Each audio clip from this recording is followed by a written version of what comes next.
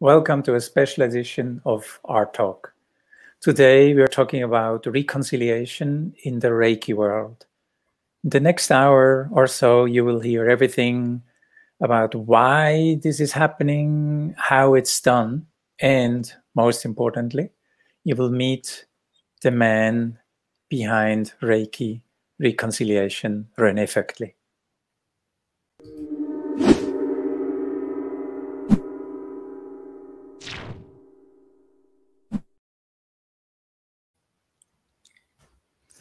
Welcome back. My name is Daniel Straub. I'm an activist and moderator. And I'm also a friend of Rene Vögtli, and it's a pleasure and honor to be here today with my friend to interview my friend. Rene is a Reiki teacher, has been for many years. He's the co founder of various Reiki organizations, and he's the man behind Reiki reconciliation, um, and the source and the brain and the heart of it. Uh, welcome, Rene. Welcome. You you make me blush. Hello, Daniel. Uh, yeah, we, thank you for the opportunity. Correct, we can correct that in post production. Um, with Reiki conciliation, Rene, if all your dreams come true, if it's massively successful, what does it look like? What is the outcome? Well, within the Reiki community, um, people will agree to disagree. They will uh, be respect, respectful with each other, whether they like each other's opinion or not, whether they share the same tradition or not. Um, there's a lot of uh, uh, collaboration amongst organizations, amongst individuals.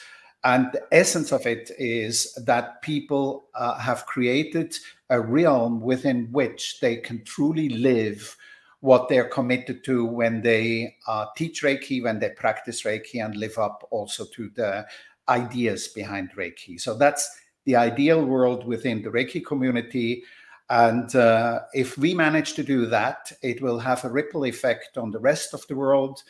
Um, uh, other communities, be they the yoga communities, but not necessarily only in spiritual circles or in uh, complementary healing circles, but beyond in politics, in economy, it will have a ripple effect. So ultimately, um, together, we're going to win the Peace Nobel Prize. Very good. Um, let's talk about reconciliation, not just in the Reiki world, but generally, because I know you've become somewhat of an expert uh, for reconciliation. Uh, my question to you is I mean, you know, I guess most people are for it, but where do you see the strongest resistance to reconciliation in general, not just in the Reiki world? Where, what are the, the biggest resistances? Well,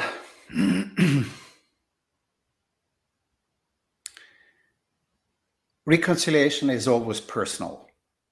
And this is why I'm happy we're having this conversation. And I'm happy that you give me the opportunity as my friend to be speaking with you and uh, being with you because reconciliation is not something abstract um, out there in the world. It's always happening between uh, people.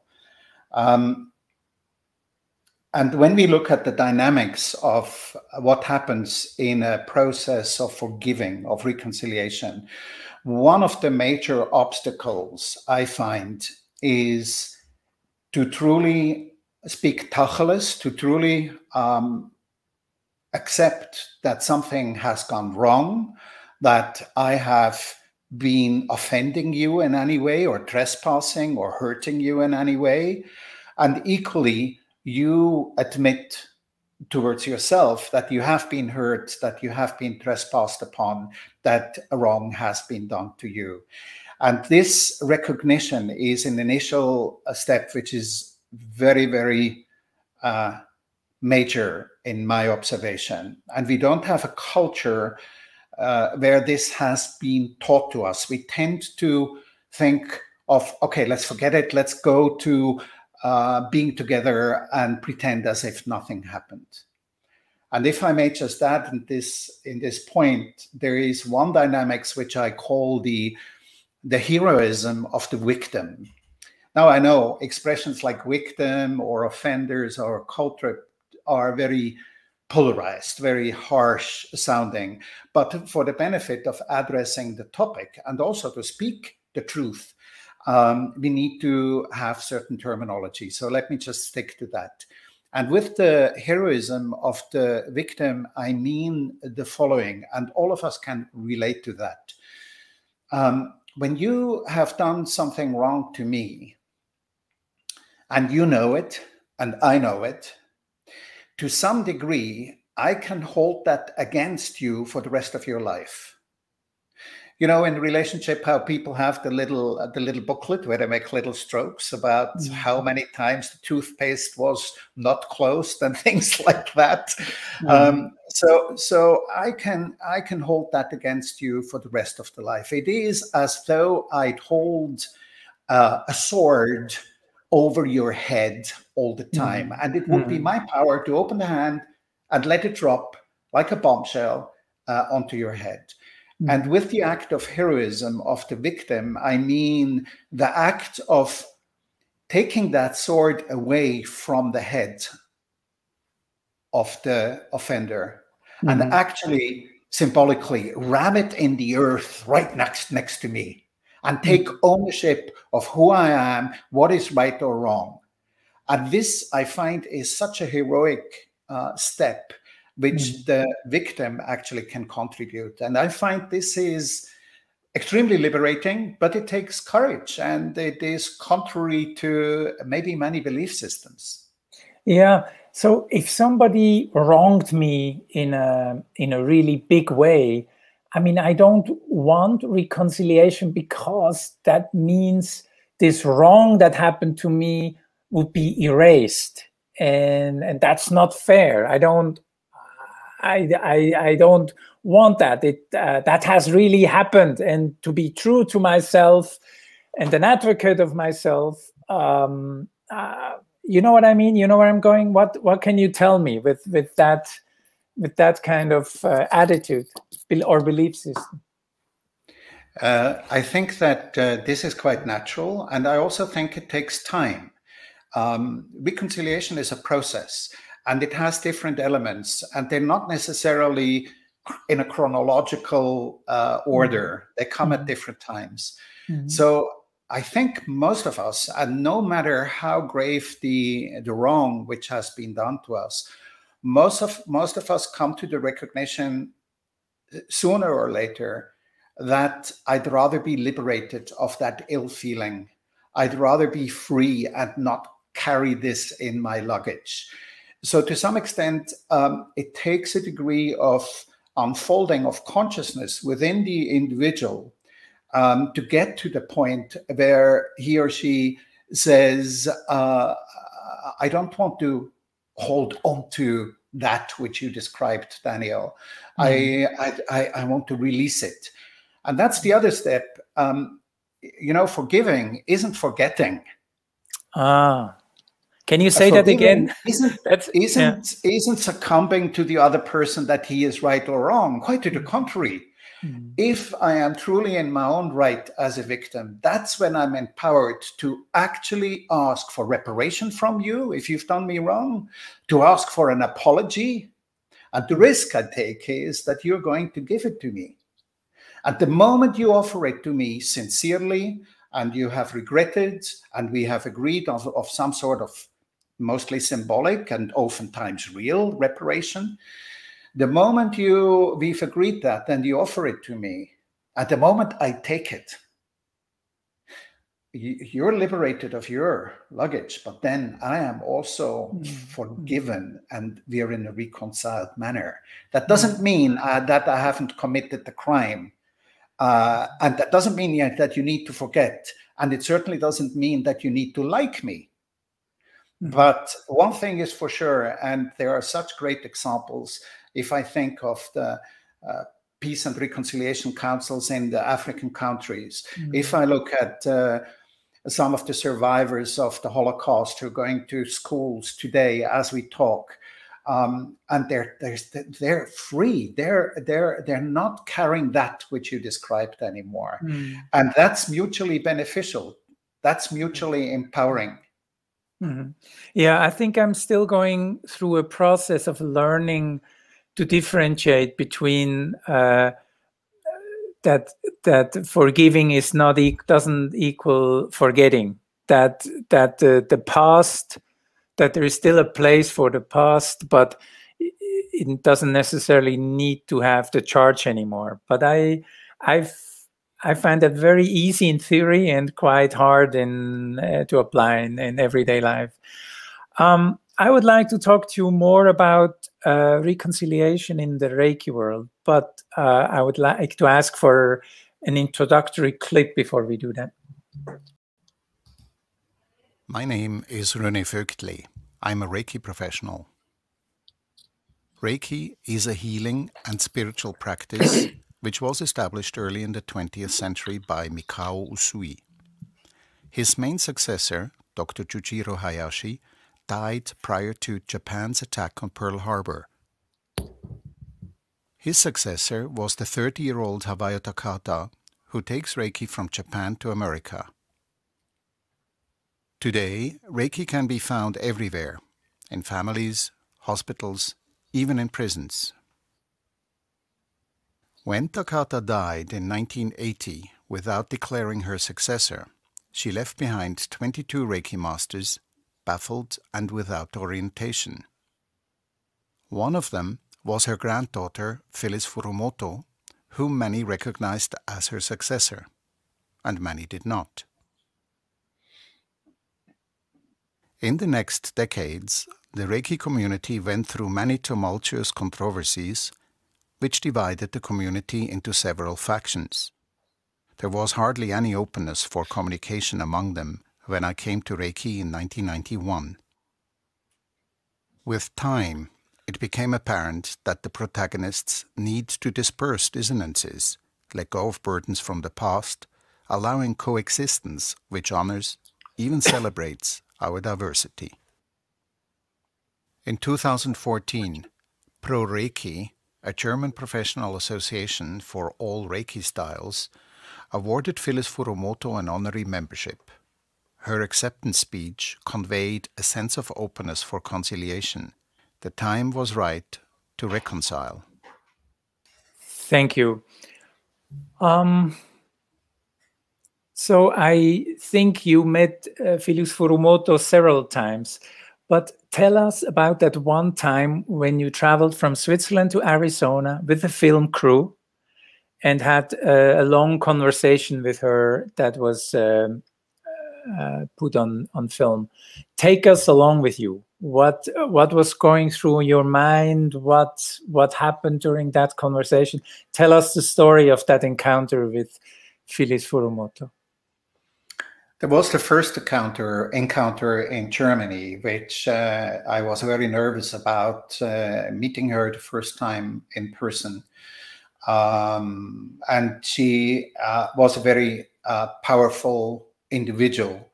Um, and there is a telltale situation at the end, and this is quite significant. At the end of the filming in Berlin, then uh, when I brought her uh, to the airport. Actually, she demanded I bring her to the airport.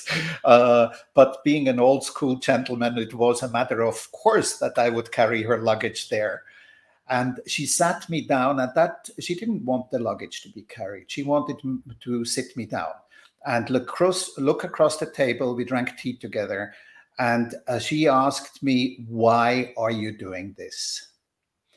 And uh, Daniel, I would have to do some thinking uh, to recount what answer I gave you, but uh, it's probably not very important. What is important is that she nodded and she um, invited me later, and that's what you started to come to Arizona half a year later and do that second part of the filming. In the time between, I spoke to more than a hundred uh, protagonists within the Reiki community. These are all people who had an opinion about the diversity and the dissonance within the Reiki community.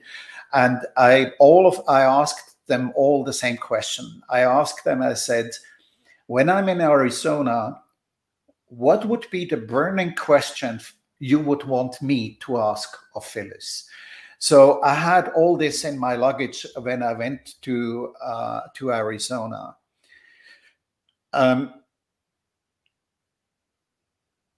it was evident, two things were evident. One was uh, that it was clearly evident that Phyllis was the uh, leading light, the grandmaster, the lineage bearer for a particular understanding of Western Reiki, of one uh, version of the Usui Shiki Ryoho uh, tradition.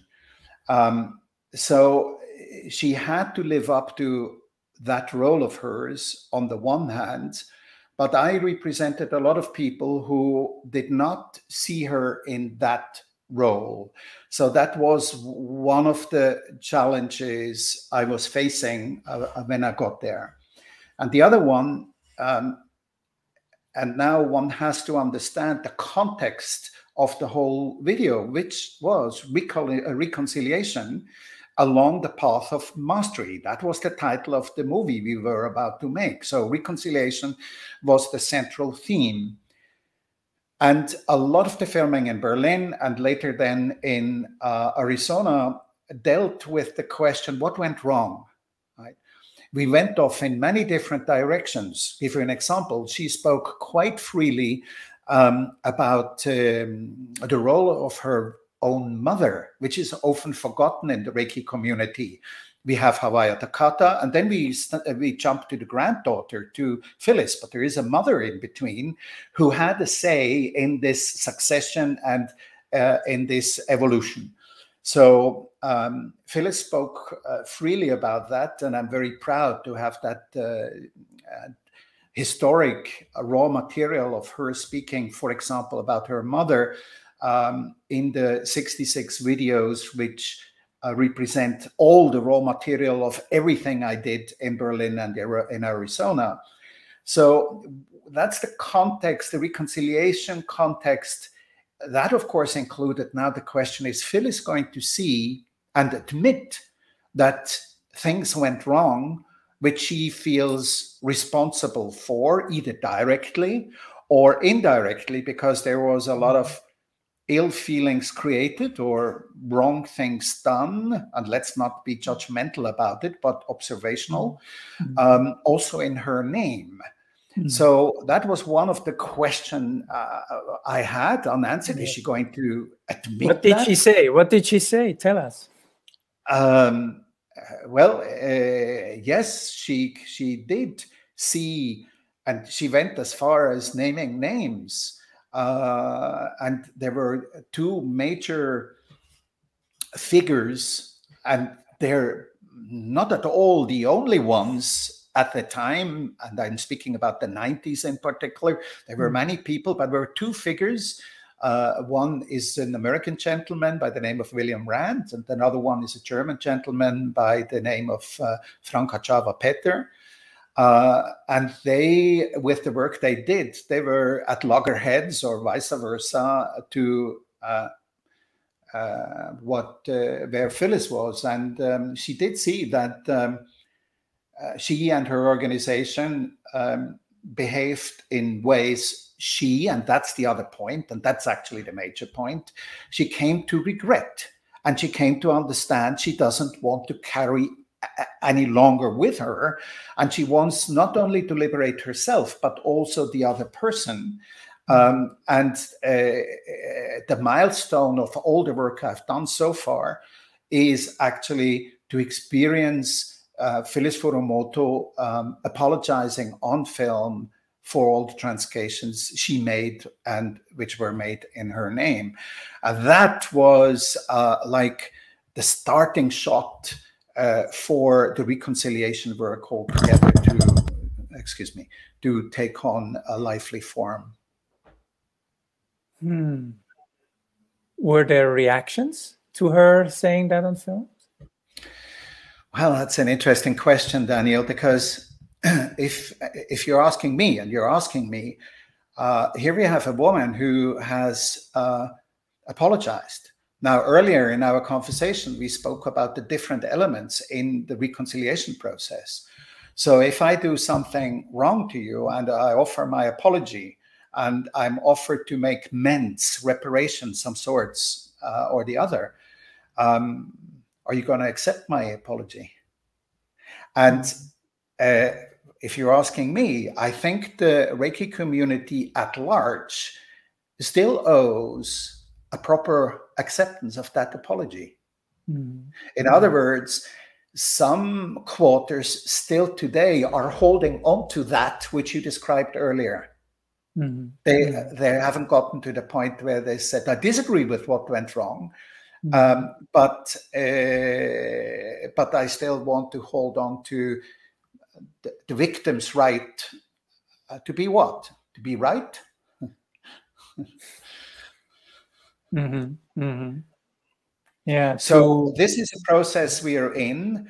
Um, we, the Reiki community, and of mm-hmm. course, it's it's an illusion. If I'm not thinking that uh, I can make a movie of any one of the people who's still around, and of course, I'm very deeply committed to using the opportunity of the people still alive today to go and mm-hmm. speak to them and contribute that an interaction happens. But it would be naive uh, to expect them that they're sitting in front of a camera and say, "Well, I now forgive, uh, uh, I forgive Phyllis for and and and all the people who, in her name, have done wrong." That's that's that's uh, somewhat naive, and yet having said this, this is precisely which what needs to happen, if not on film and with words, I so theatrically now said, but it needs to be done in the heart of hearts. And I give you an example. Uh, I spoke two days ago to an elderly lady uh, who learned Reiki in the 80s uh, from Phyllis Furumoto who was skeptical about a lot of the teachings of Phyllis Furumoto, um, who, um, and I admire her for that, who later in life decided also to learn other Reiki styles because she felt that she can be loyal to both. Mm-hmm. It's like um, you know the definition of maturity being able to mm-hmm. hold two contradictory minds at the same time in your mind mm-hmm. um, and and she she this lady is is capable of making that bridge and we uh, reflected how it was back in the 90s and she said uh, well to me uh, at that time william rand whom i mentioned earlier uh, was unacceptable how he his practice of reiki and then she continued, this is a few days ago, then she continued to say, and you know what happened uh, recently? I received a phone call from a lady who wants to train with me to become a Reiki teacher, recommended by William Rand. So that's what's needed. That's you asked earlier about the visionary thing. That's the kind of thing which which which we can contribute in the here and now and which needs to happen to create that wonderful wonderful uh, fragmented beautiful it's like a diamond with so many facets our reiki community. And each facet has its own right and its own color. And yet we are united as one and the same diamond. Um, and the interesting thing in my art talks in my conversations, which is one of the contributions I, I'm making to to try to um, to get people to talk to each other.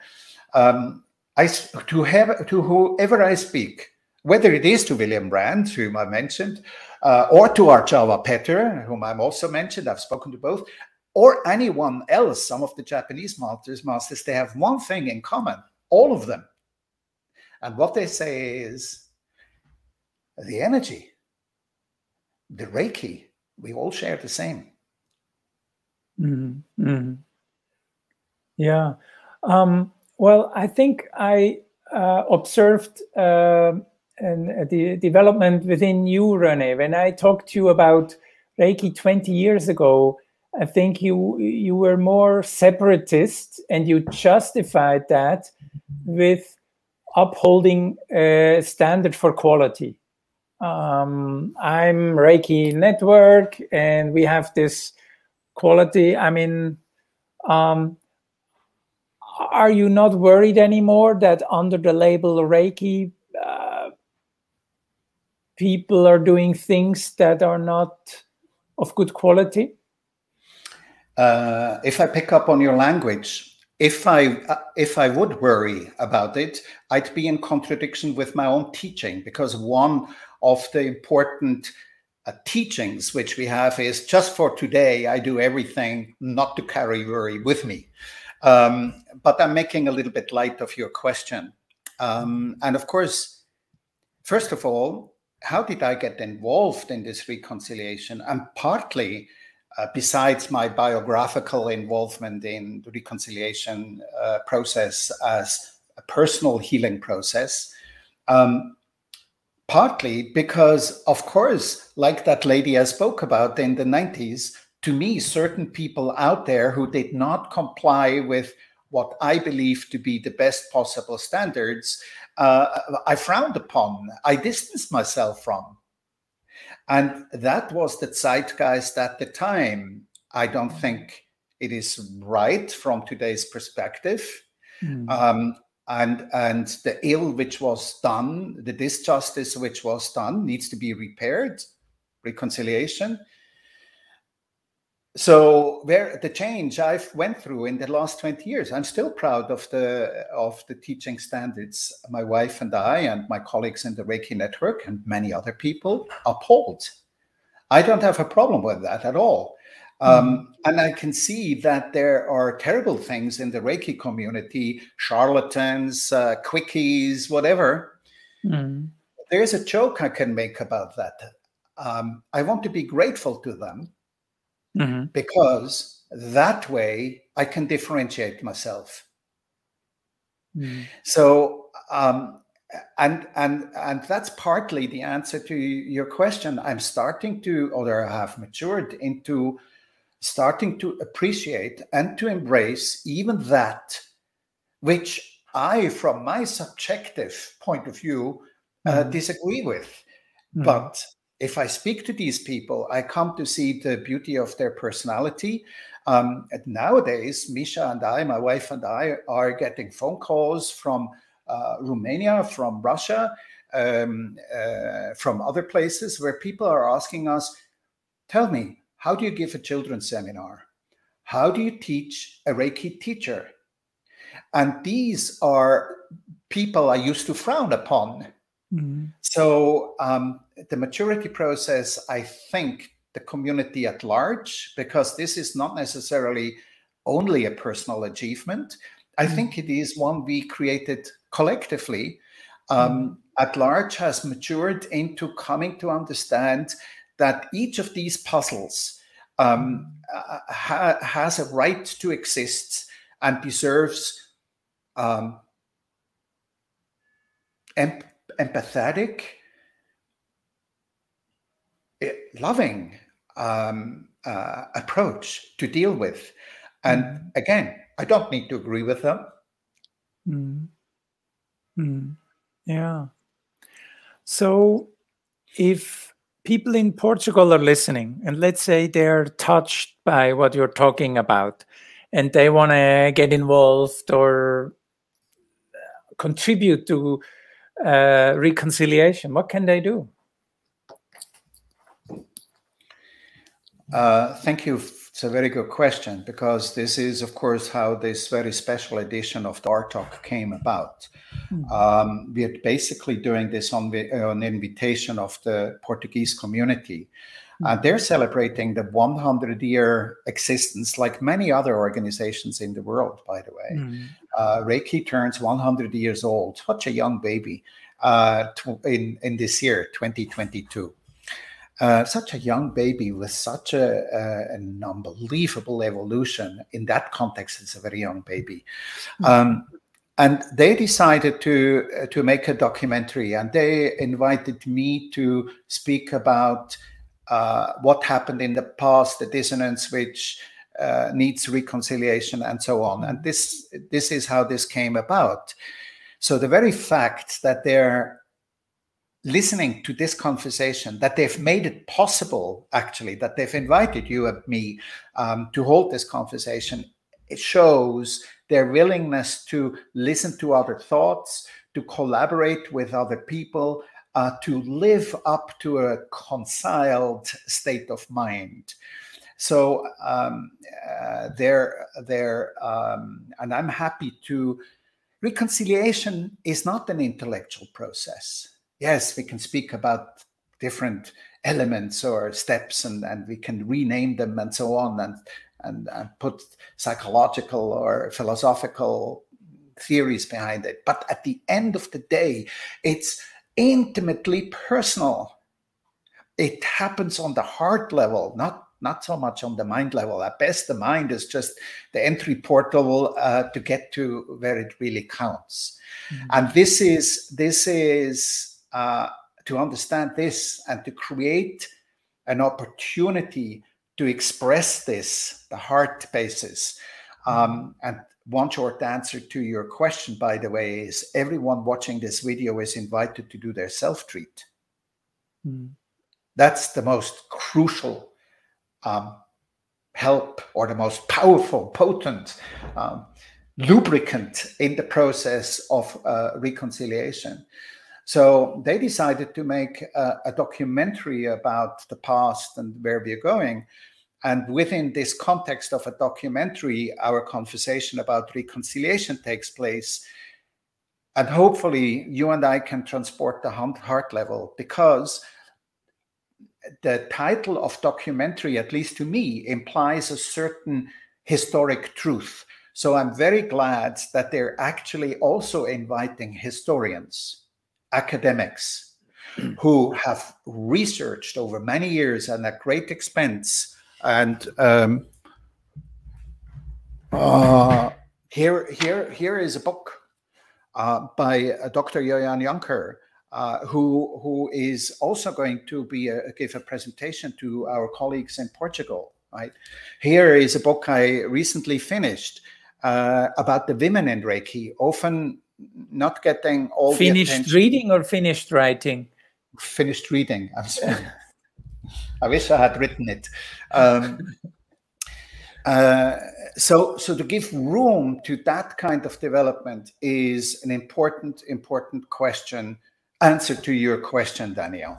Mm-hmm, mm-hmm. Um, you uh, do uh, RTalks, you interview people around uh, reconciliation. So this must be very hard for you that to have these reversed roles where you have to answer questions and not get to ask them. And you have a lot of experience. Given your experience, what is the question I haven't asked you yet that I should have asked you? okay. Well, um, uh, you know, this is a special edition. We are talking about reconciliation. And in fact, our talk, the R stands for Reiki and it stands for reconciliation. Normally, these are the two uh, topics I don't talk about in mm. the R talks. Because if I speak to one expert of one style of Reiki about his style, listeners who are convinced of another style may easily get triggered. And that's exactly what I'm not trying to do. To the contrary, I'm trying to have them talk to each other and not being in a reactive mood. So I don't talk about Reiki. Mm. And I also don't talk about reconciliation much because, as we could feel earlier on, to speak tacheles, to be courageous and take that sword away from the victim, these are can be very, very heavy topics. Mm-hmm. And I'm using the RTalks um, to meet and greet people of different walks of life, of Reiki life, mm-hmm. old, young, uh, black, uh, white uh, men, women, a professor, um, okay. street cleaner. I want to talk to everyone because every one of them is an interesting personality. And I would like to think that in those conversations, uh, we are, um, and that's the other thing, if I may correct you, Daniel, I don't interview these people. I go into a conversation with them. And uh, the two of us together are basically exploring one element of their personality, a certain topic.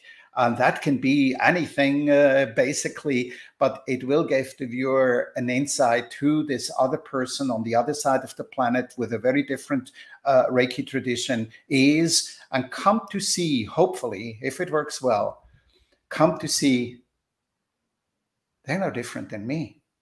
Mm-hmm. We're, we're, we're, yes, we are not on the surface of things. We're not mm-hmm. the same at all. But take away that surface and listen to the person. May I tell you one of the highlights of the RTalks? Yes. so we have uh, reconciliation is only necessary if there was prior to that a dissonance, if people have been fighting, mm-hmm. if there was polarities, if there was war. So,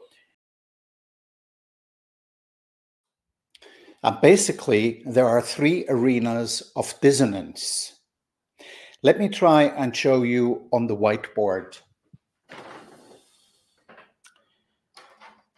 I'm making it, of course, very simple for myself and for us. We have uh, originally Mikao Usui, we have um, um, Hayashi, and we have Hawayo Takata. Then in the 1980s, uh, Hawayo Takata um, introduced 22 known um, Reiki teachers to the world by the time these were the last years of her life in 1980. I hope you can see that halfway. Um, let me uh, use a better color.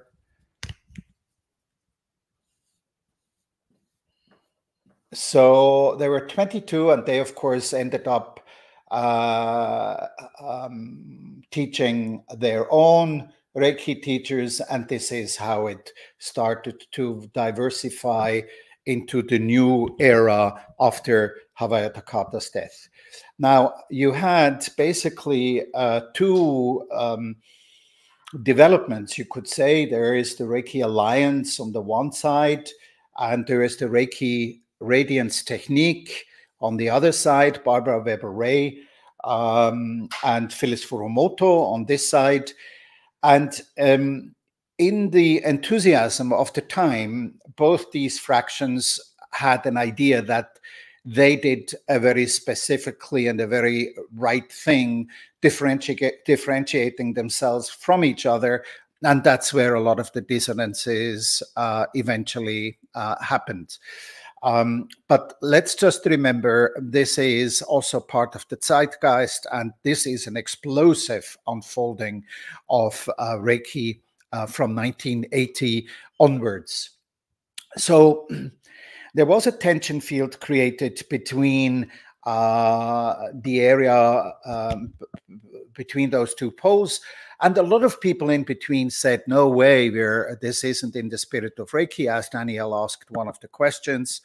Um, we don't want to um, get polarized.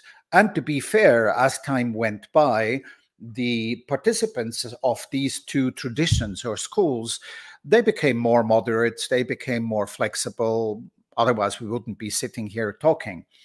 And um, in this tension field, however, there were a few people, and in particular, I would like to mention Arjava Petter. Arjava Petter, who uh, released a very important book in 1997, which um, gave clarity, historic clarity, because he discovered the memorial tombstone and he published it in 1997, um, which gave a lot of clarity about many things which until then were hearsay, legend, fairy tales to some extent. Um, and of course, those who believed in the recountings and in the value of oral tradition, um, they were somewhat provoked, me being amongst them in the 90s. Um, so Arjava here, he basically, and many others, he wasn't uh, the, uh, the only one, he basically uh, decided he lived back in Japan also. He was married to a Japanese lady at the time and he decided, well, there must be a way to um, find out how it was in the old days of Usui sensei. And lo and behold, he, of course, uh, found, uh, let me use a different color, red.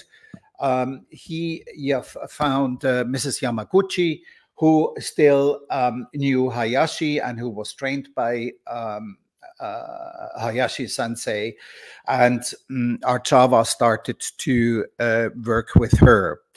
Um, this is basically the birth hour of what we call today Japanese Reiki.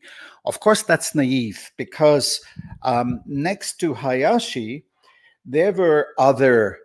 Uh, Usui didn't only have one per one um, master he trained; he had a number of masters.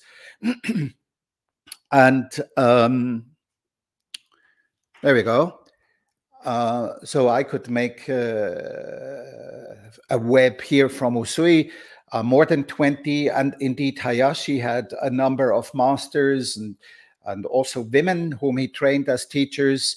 Uh, one of them was Takata sensei, and she, in many ways, was the most important one because she single handedly brought Reiki to the West, which ensured Mm, Reiki survival to some extent because the remnants of those here, and in particular um, the uh, Gakkai in Japan, um, who to this day is the organization Usui Sensei formed 100 plus years ago, um, is still around and alive.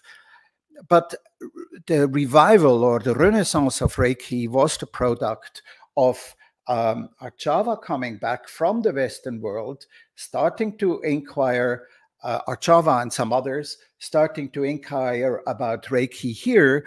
And that's when a lot of the Japanese um, Reiki practitioners also became aware of the fact that Reiki was very popular in the Western world.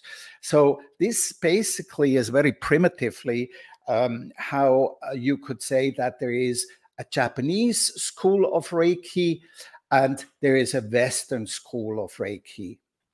So the three areas of dissonance basically are today within the Western community, there is still dissonance and, and, and clarity to be reached, but um, also amongst the Japanese masters or the traditions related and and very simplistically uh, titled as Japanese Reiki, this is an era where an area and an arena where um, reconciliation, by all means, um, can still prosper.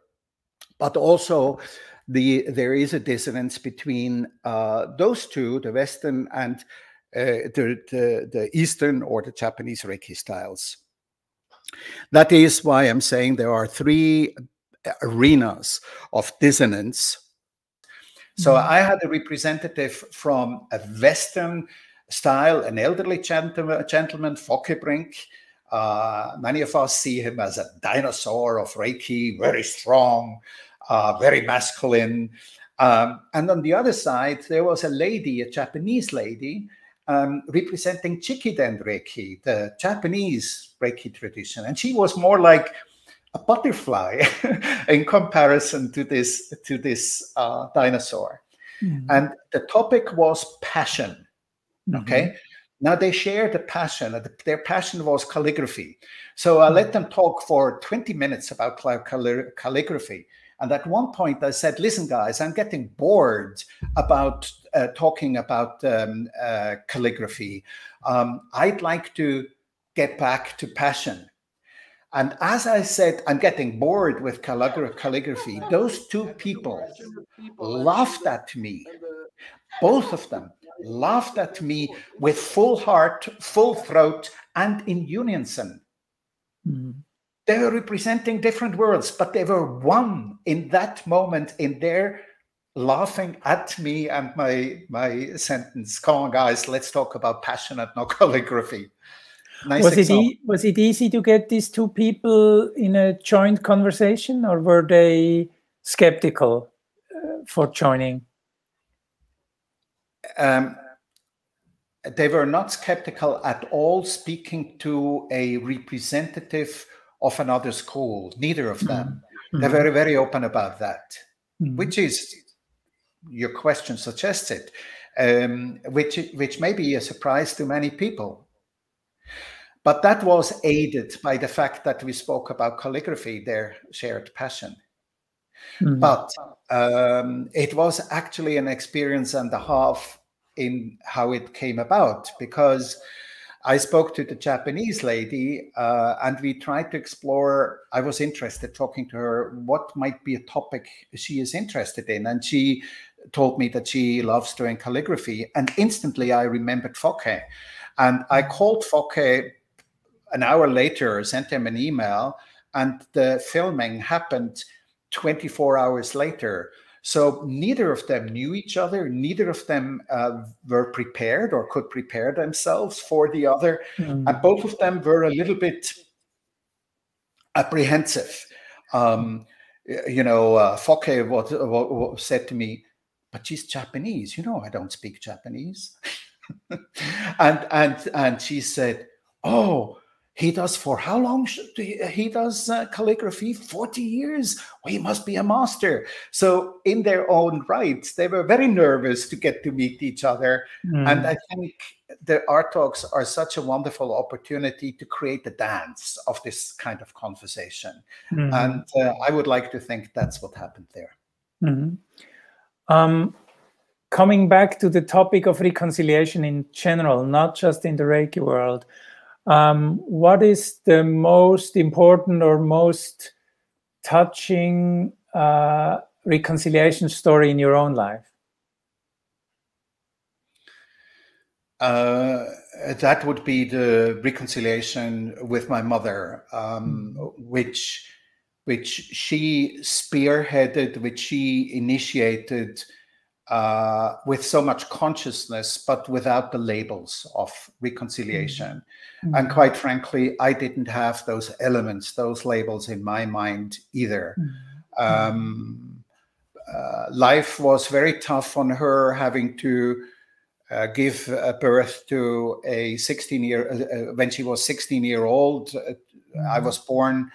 Um, very difficult time. She was in a foreign country. Um, it was a very tough time.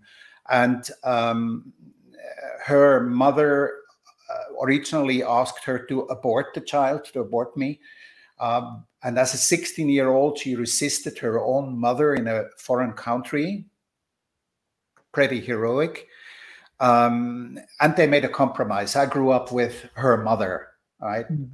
And um, to some extent, uh, my biological mother was never there for me as a child, as I grew up, uh, as a mother, and actually officially for uh, for the neighbors and and for everybody around us, she was officially my sister. It was a hmm. secret that I was mm. a child born out of bedlock, wedlock.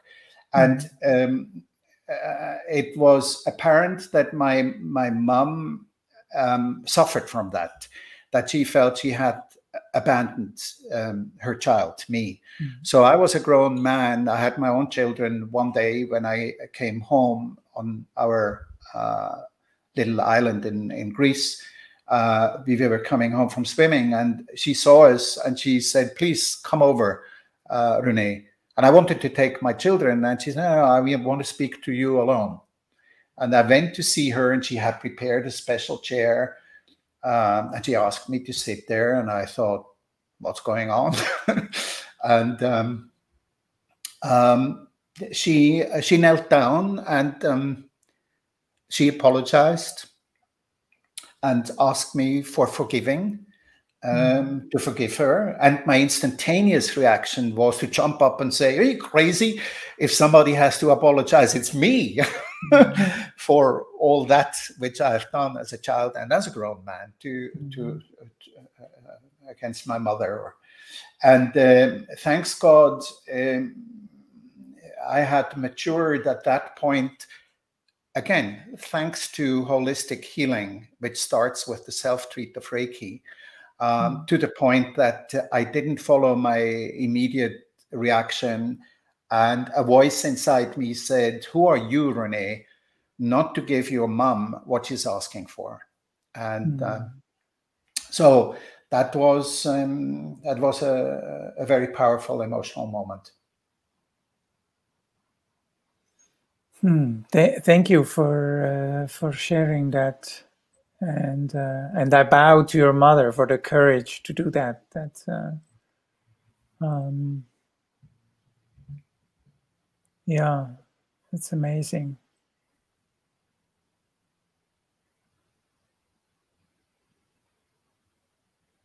When you first told me about your reconciliation work in the Reiki world, I I wasn't aware of of uh, all the conflict and separation going on. And the reason was that I thought this big, these important Reiki masters, these personalities, I, I projected a certain wisdom on them.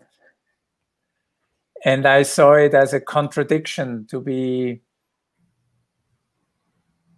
at the same time a grandmaster or whatever the title is and in a pity fight about something. Um, can you comment on that? Well, something I often hear, and even within the Reiki community, I remember a very senior uh, Reiki person when I she I approached her to be one of the first hundred protagonists to to help me uh, in my research, and she didn't know me and she said how dare you ask this question? I'm practicing reiki. I'm at peace with everyone uh, so i said to her so what you're projecting onto reiki people or reiki teachers uh, we ourselves project often upon ourselves mm-hmm. quite inhum- inhumanely by the way and unfairly mm-hmm. unless of course i would uh, claim to be in full enlightenment, then it would be appropriate that you could expect me to to be free of an ego. But until such time, and I can speak only for myself, until I've reached that level, uh, I am a human being. I have an ego. I have insecurities. I have uh, uh needs. I have uh, a lot of things. And um, this was actually an interesting to come back to the story uh, I responded to her in a very rude way. I basically said to her, um, "Grow up. Um, I don't believe you." And um, she was very upset about my um, my response, which was not in the spirit of Reiki. It was not respectful to a colleague, uh, to uh, a more senior colleague and also in Reiki, one of the teachings is to respect the elders. So I was in utter violation uh, because I was in a hurry, because I, whatever.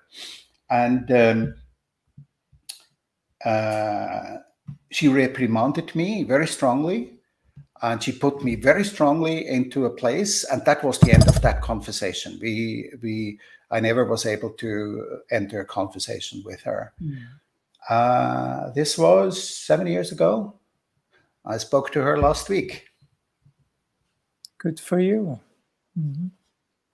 And for her. And for her. Yes. Yeah. yeah. yeah.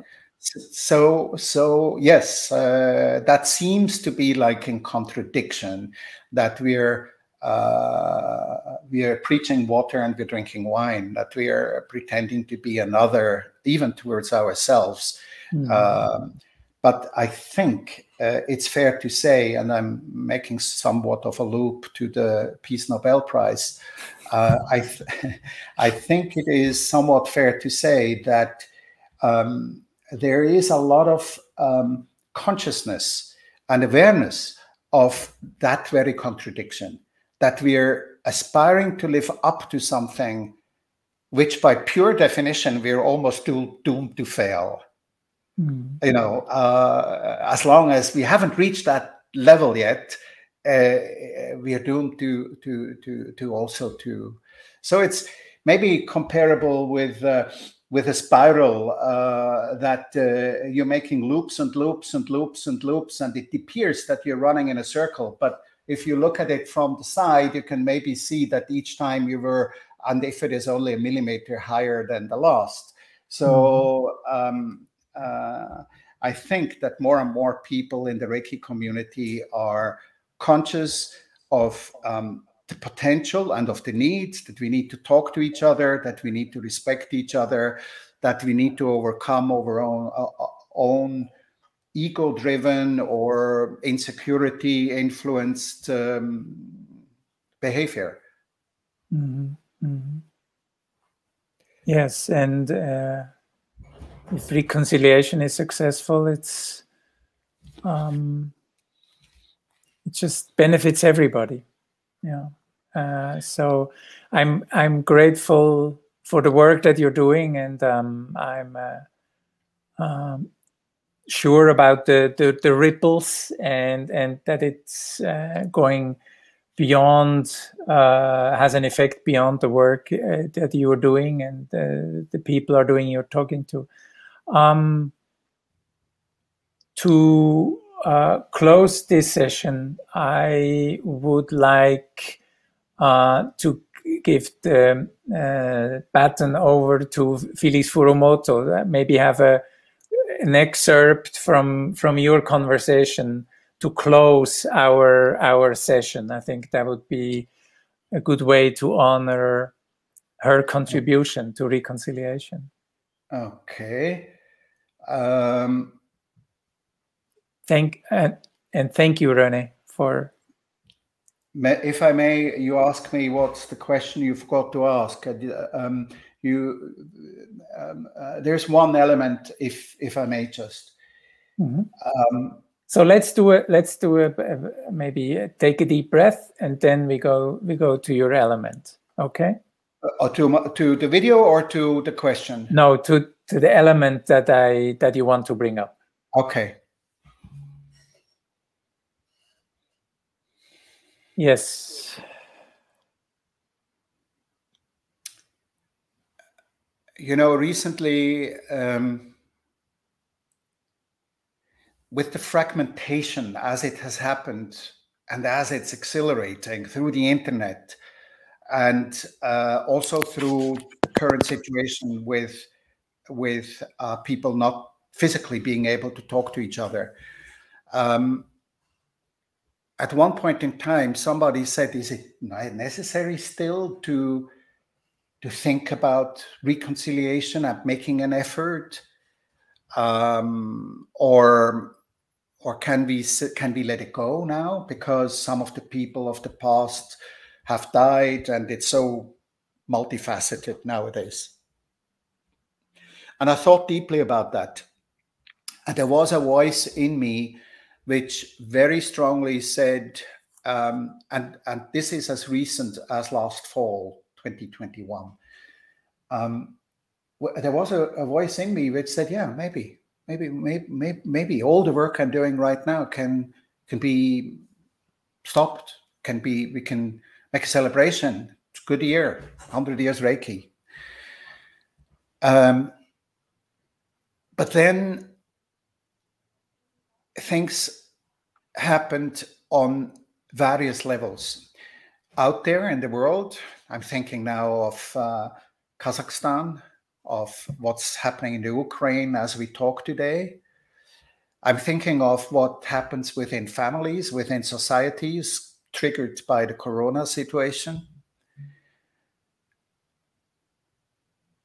And I'm also privy to what happens within uh, a number of organizations now, this year. It hasn't happened in November, it's happening now, this year. And it appears to me that on many levels, war is underway chaos is rampant everywhere. Uh, uh, the loss of orientation is everywhere. And I came to the conclusion now more than ever, it is important that holistic healing and with that, reconciliation is an important part. It may mean that we have to let go of old ideas and old paradigms and old belief systems in a very radical way. Hopefully, we can do it together in collaboration by dismantling things, deconstruct organizations, and uh, take enough time to reflect what is it that I can learn from the past? What is it I need for the future? And how can I reassemble whatever I've created so far so it's promising for the future, not only of me and my generation, but of the generations to come? And to me, the picture of the phoenix which arises from the ashes, and I think that's very much like a motto of where I am with my reconciliation work today. Thank you for your work and thanks for talking to me. Let's have a look at the video. With all this momentum and moving into the future, it is clear to me that Reiki is saying, okay, now you're ready for the big picture. You know, the world is not about mommy and daddy, my Reiki master, my lineage. It's about our Reiki. It's about our gift to humanity. Thank you very much. Thank you. So, dear viewers, um, uh, I turn the tables again from Daniel. I'd like to thank you, Daniel, for having taken the role as a host. Um, You're welcome. Daniel is not only a friend, he is also a uh, coach, a uh, quite radical activist in many ways, uh, somebody I really enjoy also because he gives me and opens doors. He gives me insights into things outside of the Reiki community which I'd like to think I can bring into my work and into the Reiki community. So thank you very much, Daniel. Regards to our friends in Portugal, I say um, goodbye to you, Daniel. Thank you very much. Take care.